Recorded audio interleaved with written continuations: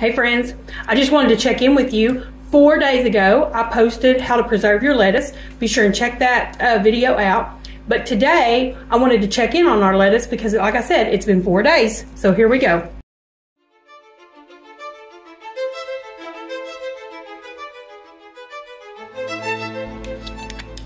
I still have my wet towel on top of my lettuce. I have had to re-wet it one time.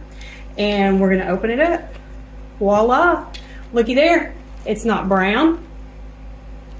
And very crispy.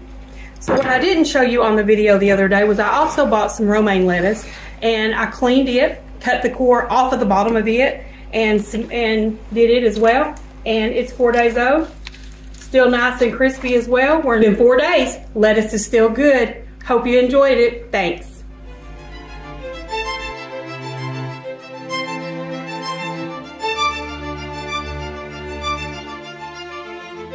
Música